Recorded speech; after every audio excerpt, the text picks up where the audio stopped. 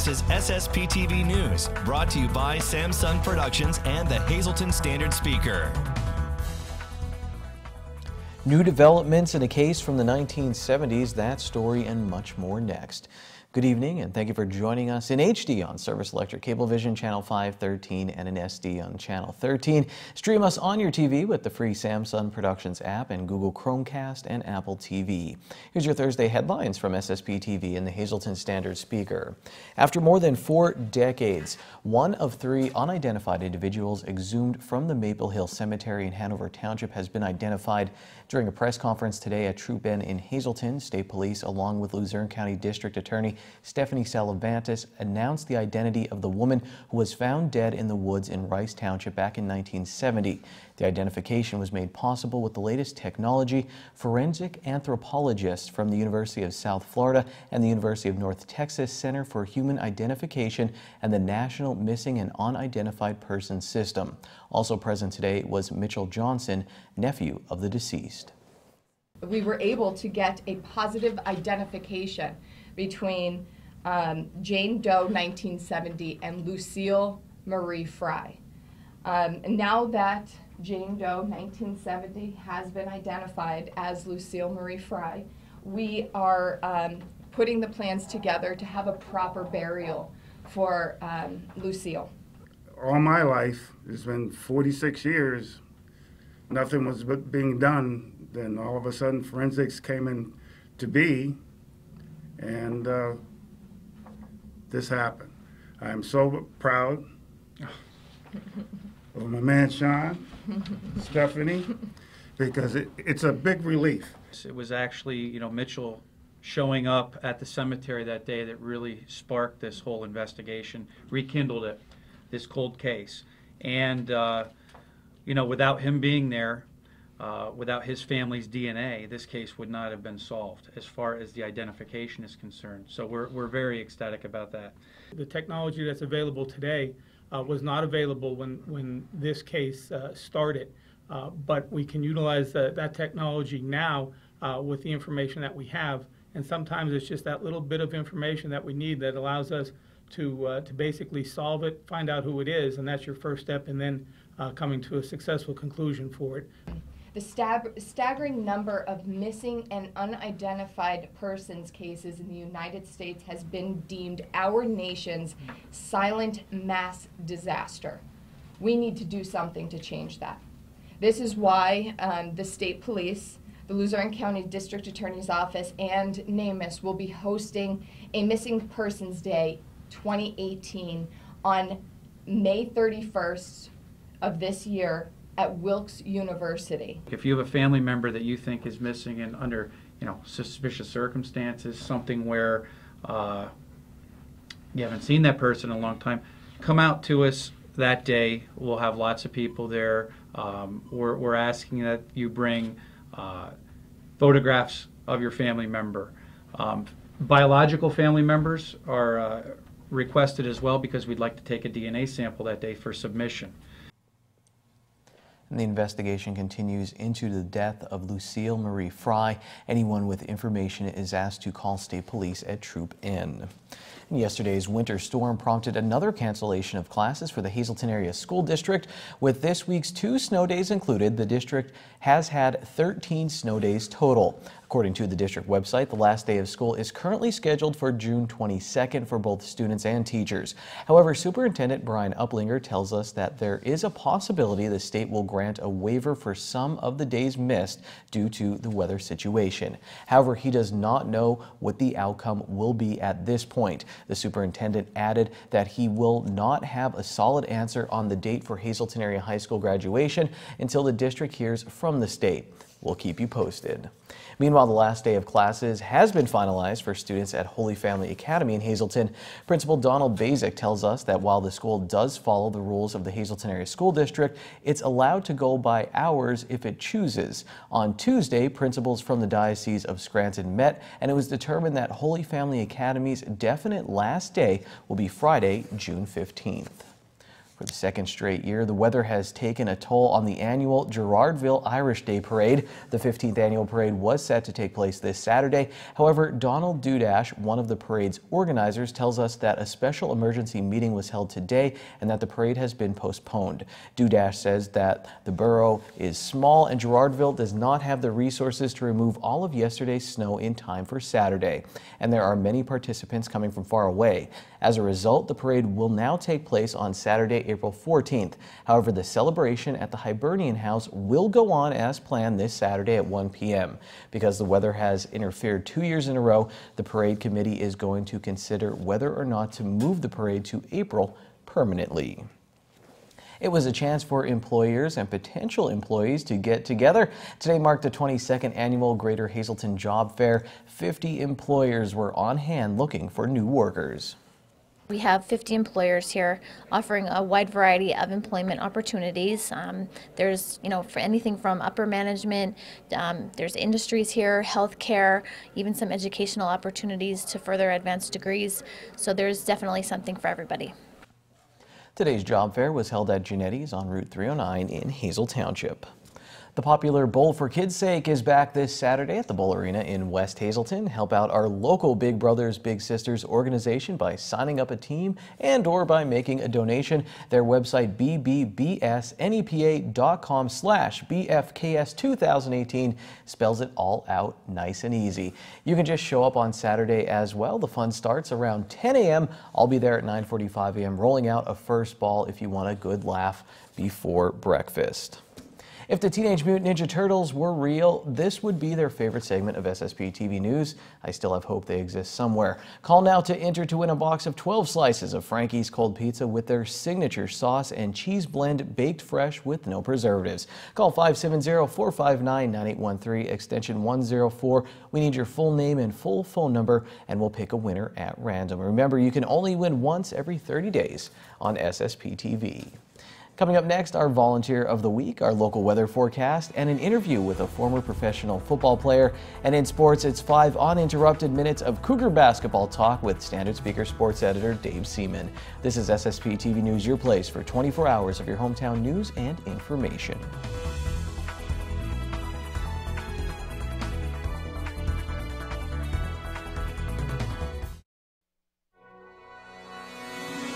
This is SSP TV News, brought to you by Sam-Son Productions and the Hazleton Standard Speaker. Let's get to know someone in our community. It's time for our Volunteer of the Week on SSP TV News. It's a person, couple, or a group who makes this a better place to live. And it's brought to you by Workforce Resources Staffing Company in West Hazleton. With temporary to permanent jobs and seasonal and temporary placements, you must apply in person. Here's Lisa Sugart with our Volunteer of the Week. I'm very pleased to announce that this week's Volunteer of the Week is Marge Mattioli of Sugarloaf, and she is here today volunteering for 25 years with the wonderful Meals on Wheels organization. And you were nominated by your son, Lewis, who is a wonderful guy who's been here talking about running many times at our studio. Um, what made you want to get into Meals on Wheels? This is such a great organization that delivers meals to people's homes. It is a wonderful organization. And I started because my mother, eh, at one point, and my father in law had each received Meals on Wheels.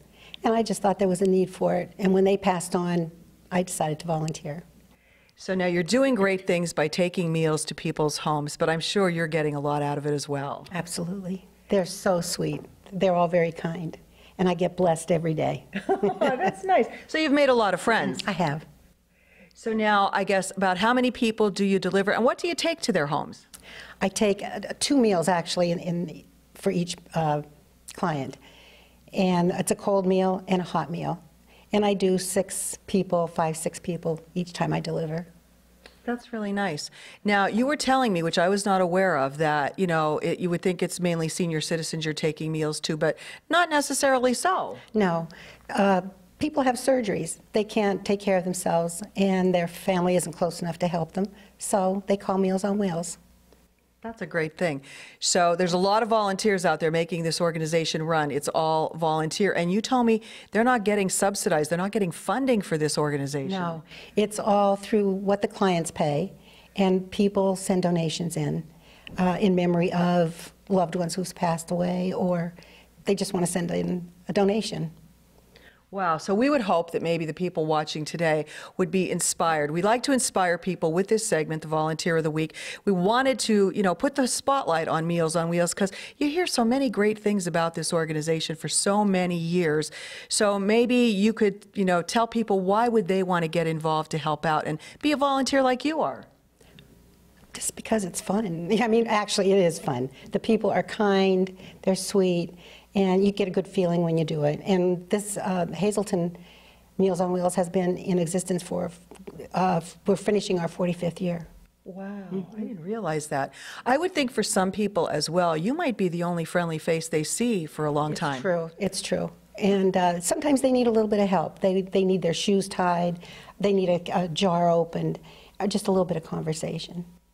So if people want to help out Meals on Wheels, they can volunteer, they can donate, or maybe they need the services. So uh, we have their phone number. It's 570-501-1700, um, located down in the former Central Air Freight Building. Is that correct? Correct. Yes. All righty. So we congratulate you because I think that's a, a big thing. 25 years to be doing this, taking time out of your life all the time to go and make the lives of someone else better. So congratulations for being our volunteer of the week, and we hope that you'll get a phone call that maybe more people want to join you. I hope so. Thank you so much. Uh, Congratulations to Marge Mattioli for our Volunteer of the Week. 25 years with Meals on Wheels organization. And if you know someone who's a dedicated volunteer as well, you can nominate them and email their name to me, lisa at ssptv.com. Time now for weather on SSPTV News. I did see a lot of melting today, but there's a lot of snow out there. However, a warm up ahead. Here's our local forecast from the National Weather Service. Tonight will be mostly cloudy and we'll have a low of 23 degrees with wind 10 to 14 miles per hour. Friday, we do have a chance of flurries, partly sunny, high of 37 degrees. At night, mostly cloudy and then becoming clear, low of 21. Saturday is mostly sunny with a high in the upper 30s. Saturday night, 20% chance of snow showers with a low of 22 degrees. Sunday, mostly sunny, high of 37 partly cloudy at night, low of 21 degrees. Monday is sunny and we'll get into the 40s, and then Monday night, mostly clear, low of 21 degrees. Lamont White is back in the Hazleton area. As much as I want to thank Lamont, you come just to hang out with me. I know you're here to um, promote your camps, but I've been waiting because it, it's been a while since your last um, football camp in the area, and I've, I've had a question I've been wanting to ask you um, about Saquon Barkley, Penn State Saquon Barkley. What you thought of him? I mean, he went through the combine, turned a lot of heads. I think he's one of the best running backs that I've seen in the last 20 years. He's that good. I mean, it's so funny because me and Major was talking about him, and you know, Barry Sanders and the Heisman with Mage, and Mage said the same thing. This kid is special. And a lot of people talk about Major Harris. We'll be talking about him in a little bit. Um, when, when you see someone do something like that, that's not easy to do as you're going through the NFL combine. I'm sure you've been through some things like this, even though they may make it look easy. The, the- stuff that he's doing 225, 29 times, you got a lineman that can't even do that many times. What can you do? How many times do you think you could do that? Uh, well, I did it. I did it 18. Okay. Yeah. I'd like. I gotta try that once. Maybe I'll do that before we air this segment. I'll see you at the gym. Maybe I won't be in the, into work that day. I'm bringing all this up because um, people like Saquon Barkley, um, high-level football players, they have to start somewhere. And if you're in this area, you can start at the Lamont White football camp. Would you invite anybody to come out, even if they're just starting out? They're like, hey, I want to try this, or is this for people who are into football already? Oh, anybody could come out because I mean, you want to try to better some of the kids' skills, get ready for you know whatever they're trying to go to college, or some of them trying to play you know high school or whatever.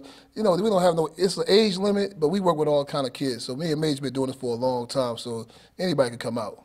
And Major Harris, I mean, just hearing him talk at the one camp I was at, I could just sit there all day. I won't do any of that football stuff, but just hearing him talk, um, All American from West Virginia University, um, he brings a lot to the camps. How's he doing? I mean, he's looking forward to coming back up to Hazleton. And what does he bring? I mean, do the kids walk away and say, wow, I really like this Major guy? He bring a lot. That's why I would try to stress to some of these kids to have a guy like him teaching you a quarterback, teaching you wide receivers, because he do all the offensive drills. He run. I mean, this guy is immaculate. You can't get nobody better than him. Trust me. What was your favorite drill? I was saying, you, you said you liked kind of when you were going up against somebody. Yeah, I like going one on one against the wide receivers because I mean you competing. You trying to outdo this guy, and he trying to outdo you. So I mean, a lot, of, a lot of drills that you do on air, stuff like that is good.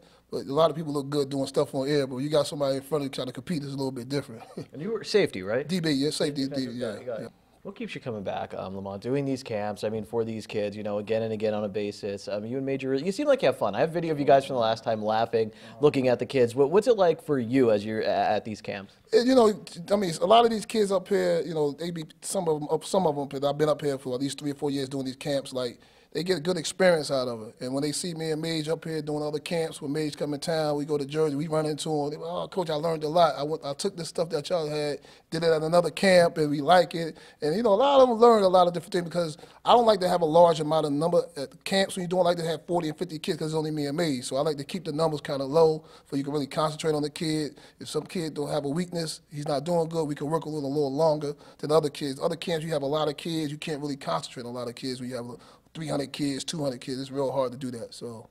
So March 24th, the next Lamont White football camp in our area. Get out there, and you're bringing, bringing Major Harris back to the studio here. You know, maybe what we'll do is you can run me through a drill or something. We'll set it up. Okay. I'll bring my shorts and that. We'll do something a little different, so so I can learn a little bit. Lamont, thank you so much for your time. Oh man, thank you guys. I really appreciate you. Ken, you're the best. Right. You're coming anytime you want. Always a good time with Lamont White. Pick two, once again, the answer to life, the universe, and everything from the Hitchhiker's Guide to the Galaxy. 4 2, your midday winning lottery numbers. Pick three, 435, pick four, 5348, pick five numbers 95591. Wild number is zero. Dave Seaman is here from the Standard Speaker. We're talking all about Hazleton area Cougar basketball when we come back.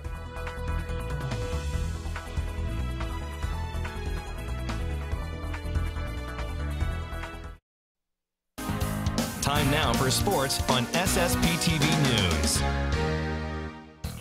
What you gonna do, brother, when Cougar Mania goes running wild all over you? Dave, it's, it's going nuts around all of Greater Hazleton. It's great to see as the Hazleton area Cougars make a deep, deep run into the state basketball championships. Dave Seaman, Standard Speaker sports editor, has been covering the entire season with Mike Joseph and his team. And Dave, recently I saw this post. This was nice to see. So the game was originally scheduled for two, Wednesday. Tuesday. Tuesday. Okay, got to keep everything straight here. So that game got postponed, now playing on Saturday. But on that night, they were supposed to play. The Hazleton area Cougars went to Milk House Creamery at Bowl Arena, Dave, and they posted on social media that the Cougars were there. It got 262 likes. So the Cougars very hot light right now. A lot of people talking about them. We've talked so much, Dave, about the hysteria in 1993. It seems like it's happening again. There's been you, you even had an article that said better late than never once they made the playoffs, seeing the support the team's getting. Yeah, and it's happening, and I, I don't want to use the word snowball because uh, what's happening outside these past few days, but uh, it's definitely snowballed, and it, it's it's outstanding to see because uh, I said numerous occasions uh, this team and uh, how hard they've worked, and uh, you know they're they're such fine representatives of the community, and um, I, I, they deserve it. From the coaching staff on down to every single player on the team, varsity, JV, even the freshman team had an outstanding season, and uh, a lot to be proud of. They're also great to talk with um, as, as reporters. And Dave, you, I guess what's great about this extended run is you get extended coverage of the basketball team. And Dave, you've written a number of articles featuring, I guess, almost all the players on the team now. I saw a great one on um, Sparky Wolk, and I really enjoyed the one on Demir Faison. Um, Dave, just search um, any of the Cougar players' names in Standard Speaker or go to the Standard Speaker's website, search their names. You'll find Dave's articles. Demir talking about a missed dunk in a junior high championship game and how his teammates still razz him for that.